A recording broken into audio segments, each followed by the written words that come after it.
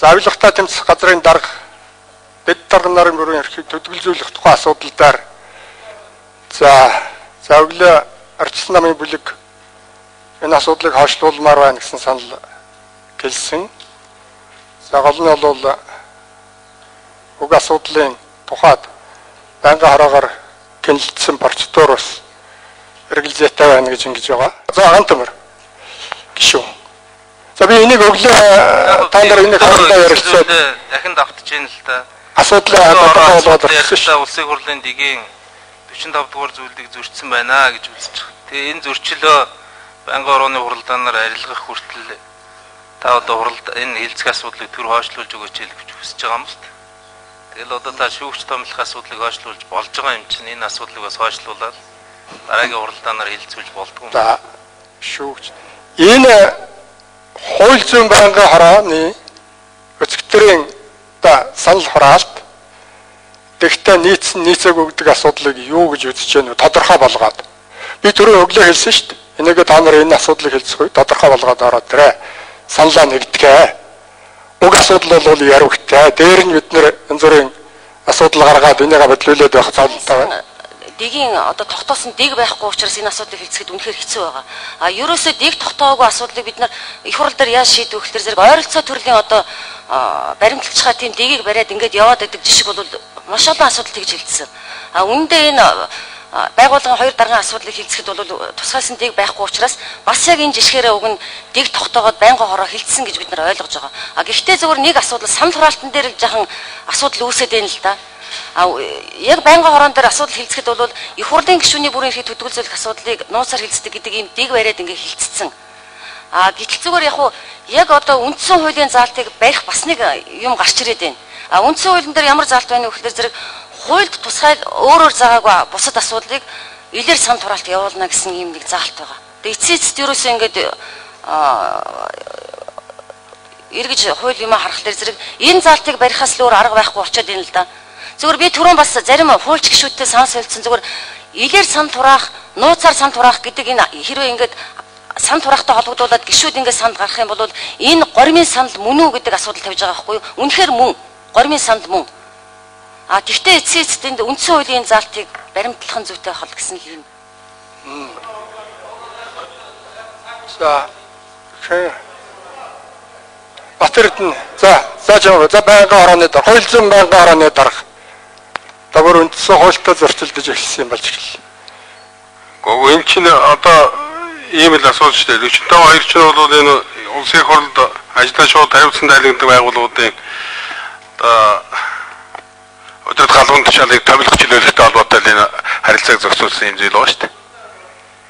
45 хоёр. Тэгэхээр чинь яг эндээ бол одоо авч үзэж болохгүй шүү дээ. Авилгалтай тэмцэх газар чинь одоо улсын хурлд ажиллаа шууд хариуцсан дайлагдаг байгууллага одоо энэ 47-д нь байна шүү дээ. Энэ чинь одоо үндэсний аудитын газар, Монгол банк, төрийн албаны зөвлөл, үндэсний статистикийн газар гэх мэтлэгээр. Тэгэхээр чи яг энэ 45 хоёроор бол асуудал ярьж болохгүй. А тэр хингуун наран насан жаргалгын саяхан хэлж байгаа тэр үндсэн хуулийн энэ заалт байгаа. Нөгөө 2000 онд өөрчлөлт оруулсан улсын хурлын чуулганы болон байнгын орооны хоролдооны гишүүдийн олонх нь хүрэлцэн ирсэн өвчнөд төсөж хоролдоонд оролцсон гишүүдийн олонхын саналаар асуудлыг шийдвэрлэнэ. Ерөнхий сайд засгийн газрын гишүүнийг томилох тухай асуудал түүнчлэн хуульд өөрөөр заагаагүй бус асуудлыг саналаа илээр гаргаж шийдвэрлэнэ гэсэн ийм үндсэн хуулийнхаа энэ заалтууд байгаа. Яг энэ энэ энэ заалтаар нь бид нар бол эхлээд байнгын орон дээр бол ердийн журмаар илээр санал хураана гэдгээр оруулсан шүү дээ. А тэгээд одоо гормын санал гараад гормын саналыг санал харуулахаар манай байнгын орооны гишүүд одоо зөв саналаар тэр гормыг дэмжсэн байхгүй да. Ингээд одоо байнгын орооны хурлыг хийсэн шүү дээ. Энд бол ямар нэгэн одоо зөрчсөн гэж бол байнгын орооны зөв одоо манай зөв санал тэгж үзэхгүй байна. Энэ гормын саналын 12 чинь дэнийхээ өндөр байж байгаа тийм үү? 12 дээр чинь тодорхой заасан байгаа шүү дээ. Багаас асуух гэдэг юм аа. Энэ сая насан жаргалын тайлбарж байгаа тайлбараар бол бүр их ноцтой юм болоод байна наад чинь. Улсын хурлын гишүүнийг төдөлзүүлэх хэсэх асуудлыг нууцаар санал хураана гэсэнтэй улсын хурлаас томилогддог байгууллагын даргын асуудлыг адилхан үзэж нууцаар харааддаг бичтэй тогтоох тухай яриад байна шүү дээ. Улсын хурлын гишүүний төдөлзүүлэх хэсэг асуудал гэдэг бол нууцаар хураадаг Энэ бүр зориуд оруулсан асуудал. Байнга орон дээр энэ бол өөр тэгтээ одоо энтэй очиад улсын хурлаас томилогддог байгууллагын удирдлагыг нууцаар хураана гэж энэ хоёр өөр статусын тухай яриад байгаа байхгүй юу? Хэрвээ энэ перцент одоо энэ жишг тогтуулнаа чинь их ноцтой юм болж байгаа шүү дээ. Тэгвэл ажил талдаа байгаа учраас заавал завсрал авах шаардлагагүйгээр асуудлаа хойшлуулад энийг байнгын хороо тамгын газар яаж хилцэн зүйтэй гэдэг тэр байр суурь илэрхийлсэн дараа хилцэн зүйтэй байх уу? Ингээд хилцүүлэг яваад бол эн чинь өнөөдөр ч ингээд ярих юм байна. Тийм учраас тийм хормын санал гаргаж байна. Байнгын хороо тамгын газар энэ асуудлыг ямар хормоор яаж хилцэхээ эцэлсний дараагаар энэ асуудлыг хилцэх. За, скватер. энэ ас жаргал яг хуульч бол бас болгоомжтой учраас тайлбар хийж явах шиг байна. Яг нэгдүгээр нэгдүгээр асуудал тэр сая Батүл гишүүний хэлдгээс арай өөр. Улсын их хурлаас томилогддог яг ийм албан тушаалтаа бид нэр одоо юу гэдгийг саяны төдөлцүүлэх хэсэг асуудлыг зааж өгсөн ийм байгууллагын албан тушаалт нэг ч удаа гэмт хэрэгт холбогдоод ингэж орж ирсэн жишг нэгдүгээрт манай их хурлд байхгүй. Хоёрдугаарт хоёрдугаарт хоёрдугаарт энэ энэ төдөлцүүлэх хэсэг асуудалтай холбоотой материал нууцын маш нууцын зэрэглэлтэйгээр орж ирсэн машинуудын зэрэгэлтэй. Хэрвээ хилдгэр илээр санал хураах юм бол машинуудын зэрэглэлээр орох ирэх шаардлагагүй бид ил тод ярилцах байсан.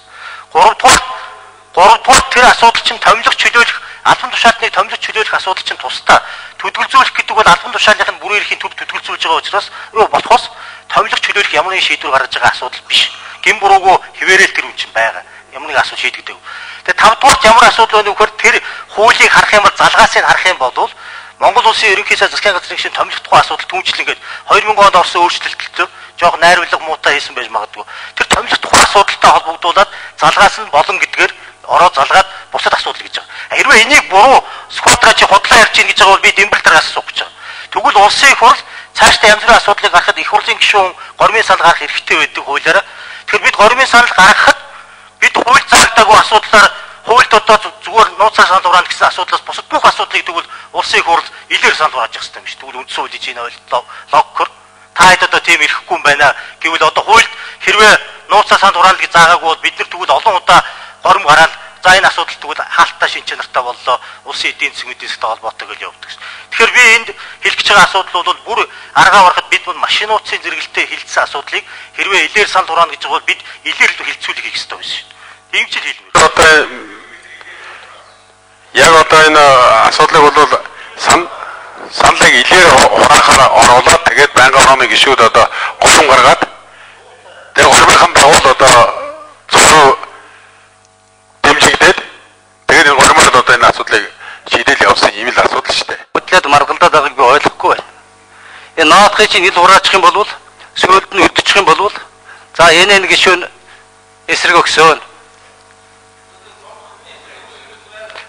хүлээж гонтомроо хүлээж ийм ийм аюу цаад талд нь байдаг байхгүй.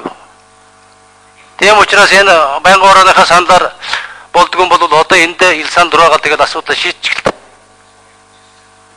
Энэ чинь осолтой асуудал шүү дээ. Ялангуяа хүний амьдралтай холбоотой энэ хамт сууж байгаа гişүүд бид нар бие биенээ хүлэн татах юм бол нууцаар л хураадаг шүү дээ. Тэгжээж л тэр хүний гомрхол элд юмнаас л зайс гэдэг л учиртай юм шүү дээ ингэж л ирсэн шүү дээ. Ийм л юм байгаа юм. Тэгээ та бүхэн энэ 14 хоногийн хугацаа гэдэг юм дуусаад одоо хэдэн сар болж байгаа мэт. Тэгээ нэг болохоор ороод 14 хоног дуусчаа урдан шийдгээ шахаад байдаг. Санаанд нь цагуу дүгэлт гараад ирэхлээр харьяа гэж бүжлүүлээд байдаг. Ингэж зөвс нь байд юм шиг байдлаар ажил хийж болохгүй лээ. Асуудал одоо эд сандрууч хийж өгөл шийдчих